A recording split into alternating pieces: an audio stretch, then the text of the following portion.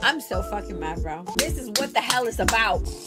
If somebody is gonna be stealing from Walmart, odds are it's not the person spending $800. Are you fucking kidding me? I'm never fucking going back there again, bitch. Never, never. It's fuck Walmart forever. I was so nervous about opening this. Hold up, hold up, hold up, hold up.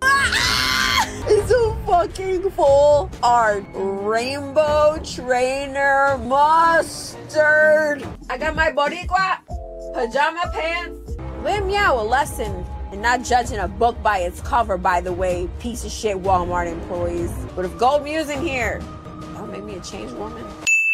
To ease. I can't complain. I can't complain, but I will because I'm fucking pissed. The fuck? Those were just energy cards, guys. Don't come for me.